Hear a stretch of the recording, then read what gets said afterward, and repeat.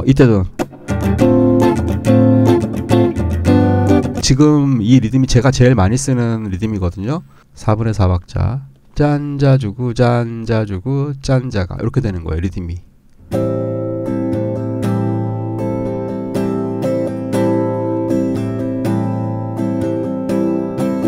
그러니까 중간에 이 파- 패턴이 물리죠. 요게 요 패턴이 같은 패턴이에요. 짠자 주고 그쵸?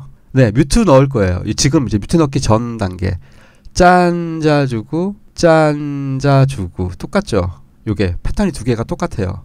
그러니까 한 박자 반 한 박자 반씩 나눠 갖는 거예요. 짠자가 마지막에는 그쵸? 셋넷 짠자 주고 짠자 주고 짠자가 짠자 주고 짠자 주고 짠자가 여기에다가 이제 좀 전에 했던 그 말씀하셨던 그 x를 여기다 넣는 거예요. 여기다가 이걸 x를 넣는 거예요. x. 지금 이게 앞에 게 얘가 16으로 따졌을 때 3개 하나 마찬가지 3개 하나 이렇게 되는 거죠. 패턴이 똑같아요. 다만 이제 악보로 표현하기가 이제 지금 이렇게 이렇게 보여서 좀 어려워 보이지만 자, 짠자 주고 그쵸. 여기는 자가를 해도 되고 아니면 x를 넣어도 되고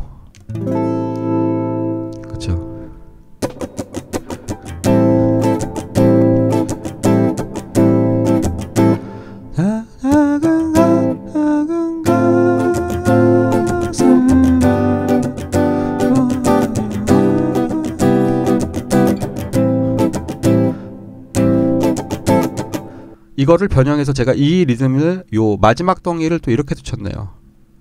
짜고 뜯고. 근데 이게 또 손맛이 들어가야 돼요. 짜고 뜯고 요렇게 마지막 덩이를 이렇게도 그쵸? 아니면 그쵸? one, two, three, 나라.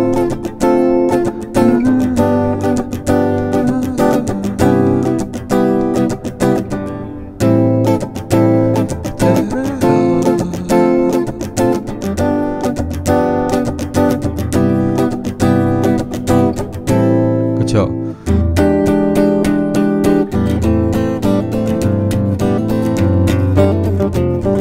이런 식으로 그쵸?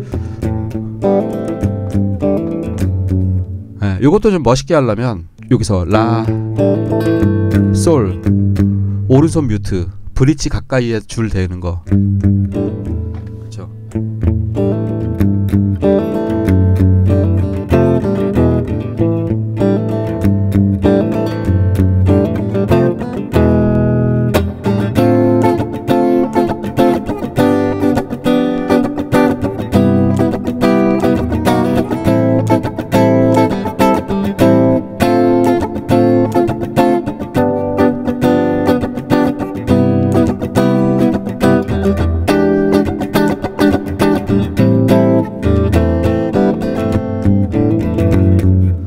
이렇게 하시면. 아 물론 리듬을 이렇게만 치실 필요는 없어요. 그냥 이것도 하나의 그 방법일 뿐인 거지. 다른 식으로 하셔도 되는데 저는 이게 되게 멋있다고 생각을 하니까 제 개인적으로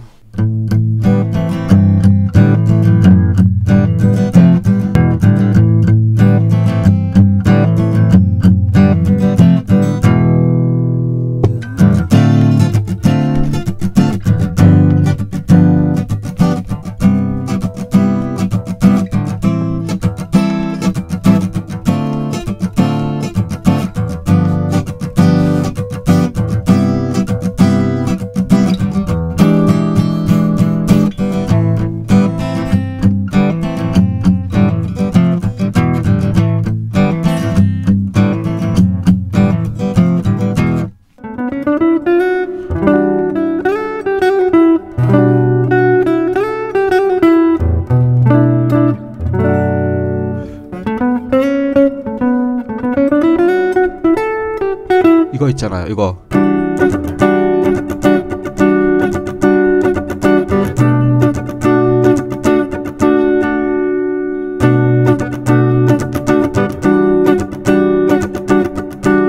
어 핑이 너무 높네 이 방금 했던 이 곡은 조지 벤슨의 곡인데 이 곡은 네, 이거에서도 이렇게 써요.